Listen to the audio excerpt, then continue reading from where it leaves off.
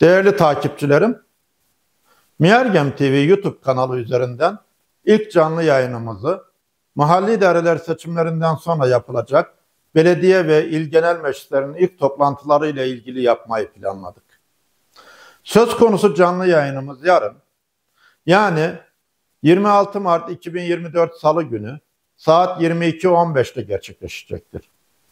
Bu yayında belediye ve il genel meclislerinin ilk toplantılarının ne zaman, nasıl ve hangi gündemle gerçekleşeceği, ilk toplantıda hangi oluşumlar için seçimlerin yapılacağı ve ilgili diğer hususlar üzerinde duracağız.